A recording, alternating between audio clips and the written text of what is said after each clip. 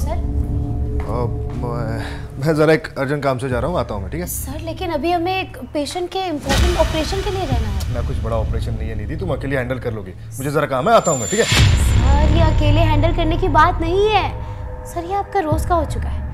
आप आधे वक्त हॉस्पिटल में रहते ही नहीं हैं गायब रहते हैं। नहीं नहीं नहीं निधि ऐसा कुछ नहीं है।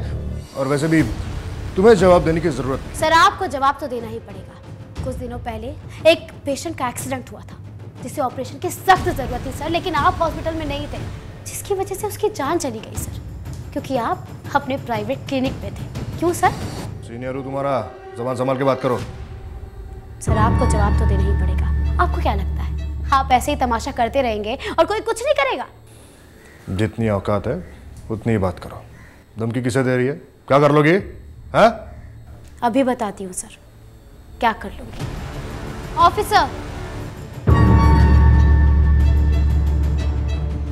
Hello mister Rishi yes मैं गवर्नमेंट ऑफ़िस से आया और मिस निधि ने आपके खिलाफ कंप्लेंट की है कि आप हॉस्पिटल में टाइम पर नहीं आते और आप अपना प्राइवेट क्लिनिक चलाते हैं। नहीं सर ऐसी कोई बात नहीं है। झूठ बोल रही है सर ये तो। नहीं सर मैं सच बोल रही हूँ। अगर आपको मेरी बात पर यकीन नहीं है तो आप यहाँ के कंपाउंडर राकेश से पूछ लीजिए। वो कई सालों से यहाँ पर काम कर रहे हैं। राकेश? राकेश इनको बताओ कि ऋषि सर अपना प्राइवेट क्लिनिक चला रहे हैं। ये सर ऋषि सर का अपना प्राइवेट क्लिनिक है। और यही नहीं सर इनकी वजह से एक पेशेंट की जान भी जा चुकी है। क्योंकि उसको ऑपरेशन की सख्त ज़रूरत थी और सर हॉस्पिटल में मौजूद नहीं थे। सर मानी चाहिए तुम लोगों को। पैसों की लालच में तुम इतना गिर गए। तुम लोगों की वजह से लोग गवर्नमेंट को ब्लेम करते हैं। तुम्हारा तो मैं लाइसेंस रद्द करवा के रहूँ। नहीं सर नहीं सर ऐसी कोई बात नहीं है सर। राकेश क्यों झूठ बोल रहे हो तुम? क्या बिगाड़ा है मैंने तुम्हारा? सर देखिए मेरे घर पे मेरी वाइफ है मेरे माँ बाप है उनकी ज़िम्मेदारी है सर मुझ पर अगर ये लाइसेंस कैंसिल हो गया तो मैं क्या करूँगा? राकेश यार क्यों ऐसी बात कर रहे हो? क्यों झूठ बोल रहे हो तुम? हाँ?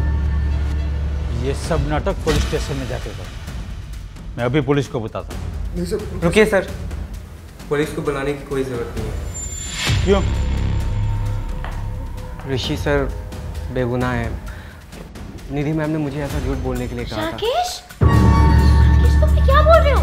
और इन्होंने मुझे पैसे भी दिए थे। I am sorry ma'am no no sir I am sorry अगर ऐसे भले इंसान के बारे में ऐसे झूठ बात बोलूँगा और उनका नुकसान होगा तो मैं अपने आप को कभी माफ़ नहीं कर पाऊँगा सर। राकेश तुम ये क्या बोल रहे हो राकेश? तुमने कहा था ना कि तुम सर को एक्सपोज करने में मेरी मदद करोगे? तुम जानते हो ना कि ऋषि सर का प्राइवेट क्लिनिक है। बोलो तुम झूठ क्यों बोल रहे हो? बोलो! शर्म आनी चाहिए आपको।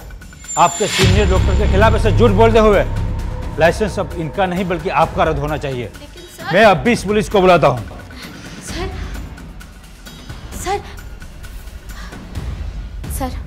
रुक जाइए। जाने से पहले आप ये देखिए। सुन राकेश जितना कहता हूँ उतना कर। ये डॉक्टर निधि को मुझ पर शक हो गया है कि मैं अपना प्राइवेट क्लिनिक चलाता हूँ। अगर इसने कंप्लेंट कर दी तो क्लिनिक बंद हो जाएगा। हाँ तेरा भी जो कमीशन आता है वो भी बंद हो जाएगा। इसलिए जितना कहता हूँ उतना कर समझा? ठीक है सर। सर मुझे इन पर पहले से ही शक था पर सबूत नहीं था। इन लोगों को मैंने बातें करते हुए सुना जब ये मेरे खिलाफ षड्यंत्र रच रहे थे। क्यों सर? सॉरी सर आगे से नहीं होगा सर प्लीज़ माफ़ कर दो मुझे। आगे से नहीं करूँगा सर मैं। ध्यान रखूँगा सर मेरे बीवी बच्चे हैं सर माँ बाप बूढ़े हैं सर उनकी तबीयत ठीक नहीं रहती सर प्लीज़ माफ़ कर दीजिए। क्या करूँगा मैं सर अगर ये कैंसिल हो गया लाइसेंस तो प्लीज़ सर समझने की कोशिश कीजिए सर प्लीज़ जो भी कहना है पुलिस स्टेशन में जाकर कहना। जब तुम्हें जेल होगी ना तब तुम्हारी अकल ठिकाने आएगी। चलो मेरे साथ।